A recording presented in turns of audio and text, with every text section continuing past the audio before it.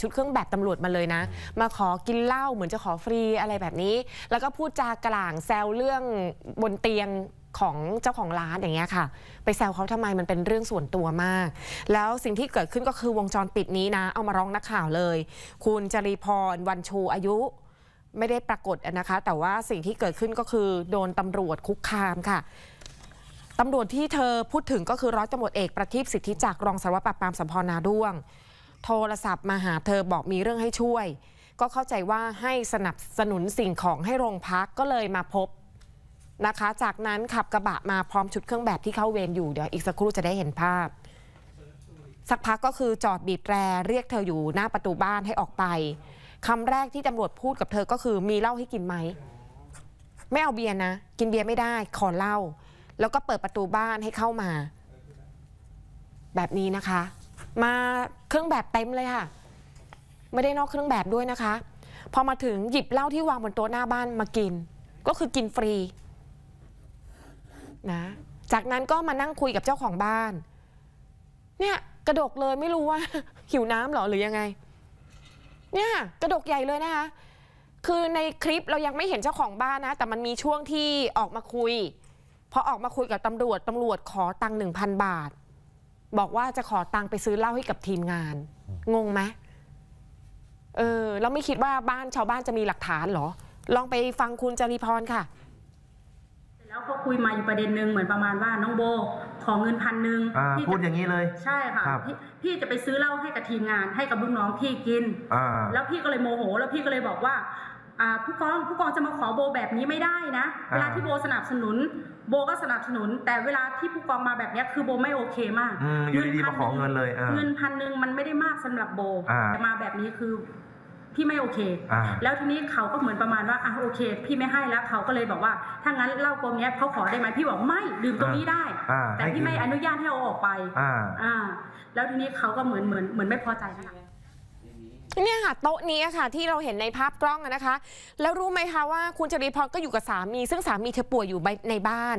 ตำรวจนายนี้มาถึงนะคะผู้จาแทะโลมไม่ให้เกียรติเธอนะ แถมลามไปถึงเรื่องบนเตียงด้วย เหมือนถามว่าเนี่ยผัวเธอยังมีแรงพอจะปั้มได้อยู่ไหม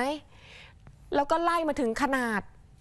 โชว์ค่ะ ขิงผัวเธอค่ะ บอกว่าเขามีขนาดที่ดีมาก นู่นนี่นั่นอะไรแบบนี้ค่ะ เออ พรีเซนต์ใหญ่เลยว่าขนาดของเขาไม่ธรรมดาเพราะกินเหล้าบ่อย มีแรงปาเท่งปาทำการบ้าน แล้วถามว่าเธอเนี่ยบัวแล้งน้ำหรือเปล่า ก็เหมือนแซวคุณผู้ชมน่าจะเดาออกคำว่าบัวแล้งน้ำคืออะไรอะนะอ่าขาดน้ำอะไรหรือเปล่า เออน่าเกลียดมากอะค่ะ รู้สึกไม่พอใจมากกับการแทะโลมและพูดจาคุกคาม เธอบอกไม่โอเคเลยนะ เป็นตำรวจแล้วยังไงฟังดูค่ะนั่นเขาบอกว่าป่วยไหมไม่สบายไหมยังมีแรง ได้อยู่ไหมอืม อ่า นี่พูดอย่างนี้นี้เลยแล้วเนี้ยแกก็เลยพูดว่าน้องโบรู้ไหมว่า คนเราอะเรื่องบนเตียงคือมันสำคัญมากนะ อืม คืออะไรคำว่าเรื่องครับบนเตียง อ่า แล้วทีเนี้ยโบก็เลยหันหลังให้เพื่อที่จะ คือแสดงกิริยาเรามาอยากให้เขารู้ว่า ไม่ไม่พพออใจใจแล้วโบไม่พอใจแล้ว แล้วแล้วทีนี้เขาก็เลยบอกว่า น้องโบเขาก็ย้ำอีกนะครับ น้องโบเรื่องบนเตียงคือมันสำคัญมากๆ เขายังมีแรง ได้อยู่ไหม เขาก็ถามว่าแล้วก็อะถามจริงเถอะผู้ใหญ่เนี่ยของใหญ่ไหมอ่า คือมันเป็นประเด็นไหมอะมันมันมันใช่อ่าธุระที่เขาต้องมาคุยกับพี่ไหม ครับแล้วเขาพรีเซนต์ตัวของเขาว่าเขาเนี่ย เห็นเขาอย่างนี้นะ เขาเมาทุกวันเขามีแรงเอาทุกวันนะเขาอ่า เหมือนประมาณว่าเขามีแรงที่จะทำการบ้าน อ่าอ่าคืออ่า เรื่องพวกเนี้ยมันสำคัญ ถ้าไม่อย่างนั้นนะน้องโบรู้จักบัวแรงน้ำไหมคำว่าอ่า บัวแรงน้ำคืออะไรก่อน ครับ เออ มันไม่เขาคิดว่าเอ่อเมียฝรั่งเนี่ย เป็นเหมือนกันทุกคนเหรออ่าเขาไม่ให้เกียรติผู้หญิงเลยในความคิดของอ่าพี่เนาะอืมจากนั้นก็กินเหล้าบนโต๊ะเมาหนักมากเพี้ยนมากค่ะ แล้วมีอ้างถึงสารวัตรอีกคนนึงด้วยว่าเป็นหน่วยปราบยาเสพติด ไม่รู้จะพูดถึงคนคนนั้นทำไม เหมือนจะข่มขู่เธอหรือเปล่า เธอไม่กลัวหรอกค่ะ ไม่มีอะไรผิดกฎหมายเลย หลังจากเมาได้ที่เหล้าหมดขวดก็ขับรถออกไป แล้วไปรู้มาอีกทีก็คือไปเมาหลับอยู่หน้าโรงพักนาด้วงด้วยนะคะ โอ้โหนี่สภาพ หลักฐานมีอะโอ้ย นี่หลักฐานพร้อมมากเลยนะ เธอถึงไม่กลัวไงคะ ตอนนี้ปรึกษาทนายความแล้ว เดี๋ยวจะแจ้งความเอาเรื่องให้ถึงที่นี่แหละค่ะ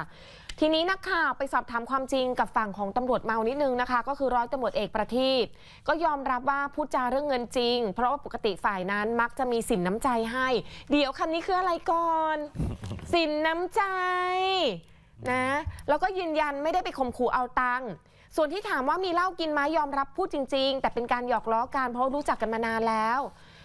แล้วก็เรื่องเข้ายามีคำนึงพูดถึงผัวเธอว่าเข้ายาอยู่หรอผัวเธอป่วยอยู่นะคะคำว่าเข้ายาแปลว่าอะไรอืมตรงนี้เธอก็สงสัยก็เลยมาถามตำรวจนักข่าวถามให้ เข้ายาคืออะไรตำรวจอธิบายว่าหมายถึงสามีฝ่ายนั้นมีโรคประจำตัวต้องนอนอยู่ในบ้าน ต้องใช้ยารักษาตัว ก็เลยถามเพื่อความเป็นห่วงเท่านั้นอะอธิบายมาแบบนี้ฟังดูค่ะ กับคุยกับไปปกติแกก็จะให้อยู่แล้วครับ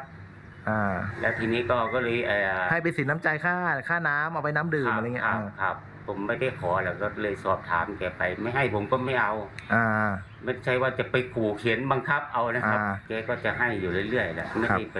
เอ่อบังคับขู่เข็นเอ่ออะไรแก ครับ แกมีน้ำใจที่จะให้อยู่แล้วพวก ไอ้น้ำชากาแฟอะไรก็ผู้กองทั้งหมดก็บอกหน้าอย่างนี้นะครับครับสนับสนุนดีอยู่เนาะครับสนับสนุนดูแลตำรวจดีครับที่ผู้กองถามว่าถามเขาว่า เอ๊ะมีเหล้ากินไหมผู้กองได้พูดจริงไหมฮะ ได้พูดอยู่ครับแต่ เป็นเป็นการพูดหยอกล้อกันครับ เออ นี่ตอบภาษาซื่อมากเลยนะทุกอย่างนี่เป็นหลักฐานหมดแล้วนะคะหรอ ดูแลกันเนาะด้วยเงินทอง แล้วแต่นะ อันนี้เดี๋ยวไม่ก้าวล่วงแล้วกันอยู่ที่กฎหมายแล้วกันนะคะ เนี่ยค่ะไปเล่นกับหมาบ้านเขาคือสนิทเข้าออกบ้านบ่อย น่าจะมาบ่อยบ่อย หมาไม่เห่าเห็นป่ะบ่อย เออคุ้นเคยเลยอะ ใช่นะจะมารับเงินหรือเปล่าที่เขาให้ฟรี เงินสนับสนุน เป็นค่าดูแลสนับสนุนนะ หรือมาขอเหล้ากินก็ยอมรับละค่ะ เรื่องนี้ไม่รู้ว่าถึงผู้กำกับหรือยังถึงนักข่าวก็ต้องถึงผู้กำกับแล้วค่ะ เดี๋ยวคงต้องรอตรวจสอบข้อเท็จจริงเพิ่มเติมอีกทีหนึ่งแหมนี่คือถ้าเขาจะให้กินเนี่ยเขาก็ให้เอง ไม่ต้องไปขอ หรือว่าขอจนติดนิสัยก็ไม่รู้นะเนี่ย อันเนี้ยฝากพุ่มกลับไปตรวจสอบหน่อยแล้วกันนะ